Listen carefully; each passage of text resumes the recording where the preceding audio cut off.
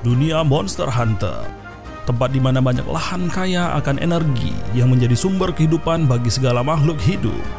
Manusia hidup berkembang biak dan mengalami berbagai adaptasi, seleksi alam hingga perkembangan teknologi untuk bisa tetap bertahan hidup. Di antara itu manusia bukanlah satu-satunya eksistensi yang hadir di dunia. Monster Makhluk yang juga hidup menempati ekosistem, beradaptasi hingga mengalami berbagai seleksi alam.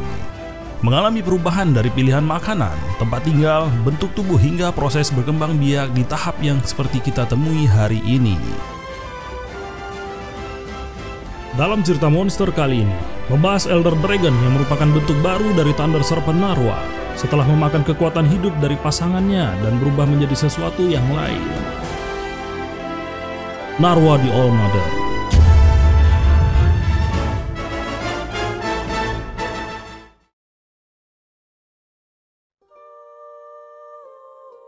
Narwa the All Mother Nama Jepangnya adalah Hyakuryu no Engen Naruha Tatahime Narwa All Mother memiliki julukan sebagai Raijin Ryu yang berarti Thunder God Dragon atau naga dewa petir.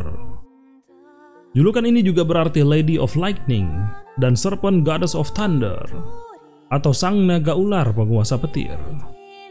Julukan lainnya adalah Hyakuryu no Engen yang berarti Source of the Hundred Origins atau asal-usul 100 naga.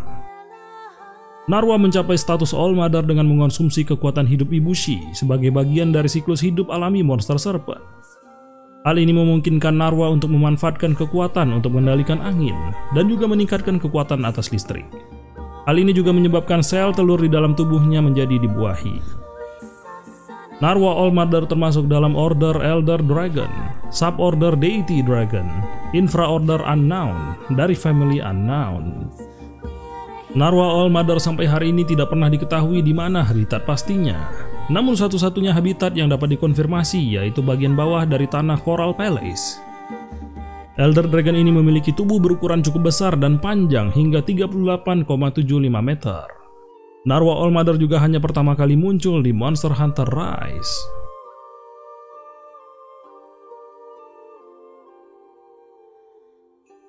Ibushi dan Narwa pada akhirnya dikalahkan oleh The Fierce dan sepertinya kejadian Rampage akhirnya berakhir. Ibushi berhasil dipukul mundur di area Red Fortress. Diasumsikan bahwa dia pada akhirnya akan mati karena luka-luka yang dideritanya.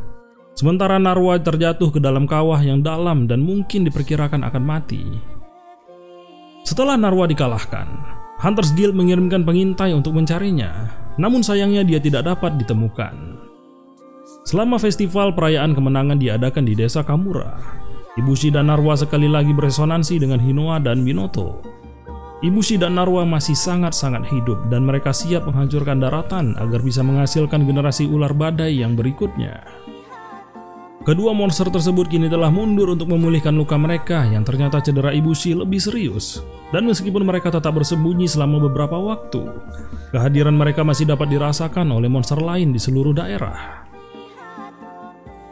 Selama dalam masa penyembuhan ini, aktivitas Ibushi dan Narwa menyebabkan banyak sekali monster kuat mulai bermunculan, yaitu monster Apex dan Elder Dragon di berbagai wilayah. Lalu kemudian timbul satu pertanyaan, apa jadinya jika keduanya benar-benar bertemu? Ibushi bersembunyi di suatu tempat di sekitar Coral Palace setelah pertempurannya di Red Fortress. Dia tinggal di sana cukup lama hingga akhirnya pulih dari luka-lukanya. Dan kemudian Narwa pergi menuju ke sana untuk menemukannya. Kemungkinan Narwa berniat ingin melindungi Ibushi selama pertarungan pertama telah terjadi. Ibushi dan Narwa telah bersatu kembali sebelum Hunters Guild dapat menemukan mereka, yang berarti hanya masalah waktu sebelum daratan dipenuhi dengan generasi ular badai yang berikutnya. Kemudian The Fierce diminta untuk menghadapi kedua Elder Dragon ini sekali lagi agar dapat mengakhiri kejadian Rampage untuk selamanya. Ternyata Ibushi dan Narwa telah melakukan proses perkawinan sebelum siapa pun dapat menemukan lokasi mereka saat ini. Saat Narwa bersembunyi di sarangnya dan saat dia bersiap untuk bertelur, Ibushi terbang berkeliling menjaga Narwa dan sarangnya tersebut. Meskipun Ibushi punya waktu untuk pulih dari luka-lukanya, dia ternyata masih sangat lemah setelah pertempuran di area Stronghold. Inilah sebabnya mengapa dia dapat dengan mudah dikalahkan selama pencarian All Mother.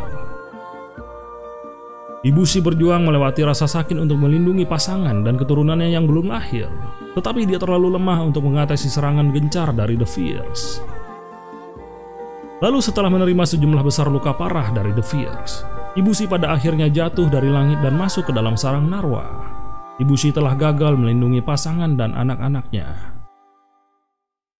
Ibushi tidak memiliki cukup kekuatan untuk terus berjuang, maka dari itu dia pada akhirnya membuat keputusan yang sangat sulit.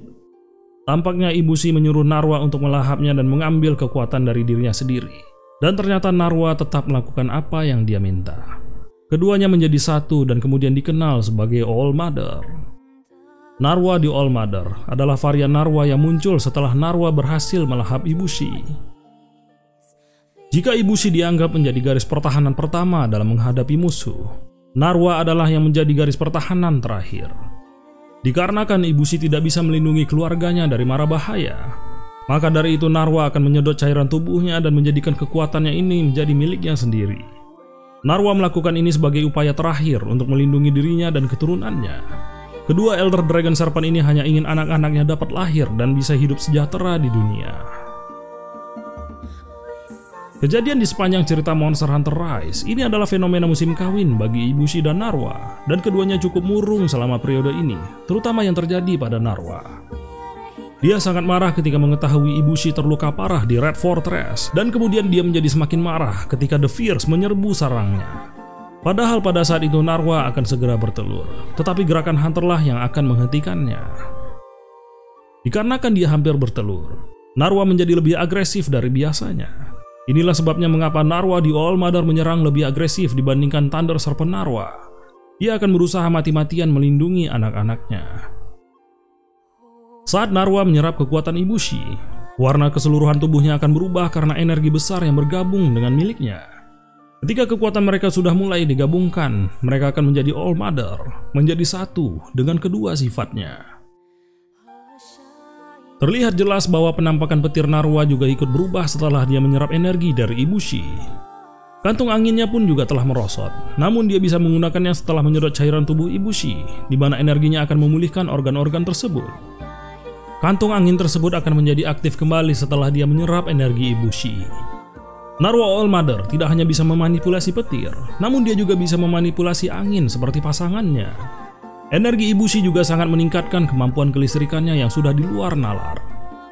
The Fierce kemudian melaporkan bahwa dia melihat bola bundar pada petir di dalam perut Narwa All Mother, dan bola itu ternyata adalah telurnya. Saat Narwa hampir bertelur, dia akan memindahkannya ke perut di mana Thunder Sack di perut tersebut berfungsi ganda sebagai kantung telur. Karena tubuhnya menghasilkan begitu banyak energi listrik, petir di perutnya pun akan menghasilkan cahaya yang sangat banyak, membuat bagian ini akan menjadi transparan. Lalu kemudian saat Narwa melahap Ibushi, energinya akan mengaktifkan telur secara eksplosif, memicu kehidupan di dalamnya karena energi Narwa sangat mempengaruhi telur tersebut. Seperti Narwa biasa, Narwa All Mother memiliki kemampuan kelistrikan yang sangat luar biasa, dan energi Ibushi akan membuat kemampuan tersebut menjadi semakin besar lagi. Narwa All Mother akan memperoleh beberapa serangan baru yang kuat, termasuk beberapa serangan yang berbasis angin, Berdasarkan hal tersebut, Narwa Mother adalah monster terkuat di wilayah desa Kamura. Berdiri di atas semua monster lainnya dan dapat disebut sebagai pinnacle of all life. Dan tidak ada monster lain yang bisa berharap untuk menandingi kemampuannya. Kemampuannya tercatat berada di ranah legenda. Ketika Narwa melahap Ibushi dan mendapatkan energi yang baru, banyak monster, termasuk Elder Dragon lainnya di area sekitar tiba-tiba akan mulai menuju ke lokasinya. Monster-monster ini tertarik pada kekuatan yang besar atau akan berkumpul untuk mencoba membunuhnya dan mengakhiri kejadian Rampage. Yang mana monster-monster ini pun juga menjadi korban dari kejadian Rampage. Beberapa monster yang akan muncul di Coral Palace antara lainnya adalah Magna Malo, Kushala Daora, Theostra, dan Malzeno. Meskipun tidak diketahui secara pasti mengapa monster-monster tersebut tiba-tiba muncul pada saat mereka membantu The Fear mengatasi kekuatan besar Narwa All Mother. Rentetan serangan mendadak dari monster dan hunter ini akan semakin membuat marah Narwa All Mother, menyebabkan dia terpaksa untuk memperlihatkan kekuatan aslinya.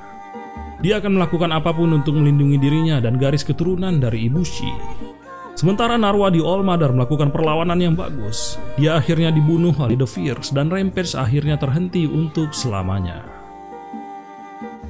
Fakta unik Nama Jepang Narwa di All Mother diterjemahkan menjadi asal-usul 100 naga, merujuk pada nama Jepang untuk Rampage yaitu malam 100 naga. Kemudian, serangan pamungkas Narwa di All Mother tampaknya merupakan kombinasi serangan pamungkas dari beberapa monster seperti Amatsu, Ahtalka, Thunder Serpent Narwa, dan Safi Jiva. Ini mungkin merupakan penghormatan kepada Yasunori Ichinose karena Amatsu, Ahtalka, dan Thunder Serpent Narwa adalah bos terakhir dari tiga game yang dia sutradarai secara pribadi, yaitu Monster Hunter Portable Third, Monster Hunter Generations Ultimate, dan Monster Hunter Rise. Kemudian, Narwa di All Mother adalah spesies monster kedua yang melakukan kanibalisme seksual. Yang pertama adalah Celtas Queen dan Celtas, Meskipun tidak sepenuhnya dijelaskan dalam lokalisasi Monster Hunter Rise dalam bahasa Inggris, versi Jepang menjelaskan bahwa ini adalah bagian alami dari siklus reproduksi Narwa dan Ibushi. Terakhir, di dalam item Orb of Origin, ada rumor yang mengatakan bahwa bahan ini merupakan telur Narwa, namun tidak ada yang pernah mengonfirmasi hal ini. Nah, gimana? Kalian suka? Cerita pasangan Narwa dan Ibushi akhirnya selesai. Rangkaian cerita ini merupakan premis menarik yang menunjukkan poin menarik seperti resonansi Wyverian, perjuangan untuk bertahan hidup, dan dampaknya terhadap ekosistem. Tulis di komen, monster apa lagi yang bakal kita cover di lore berikutnya.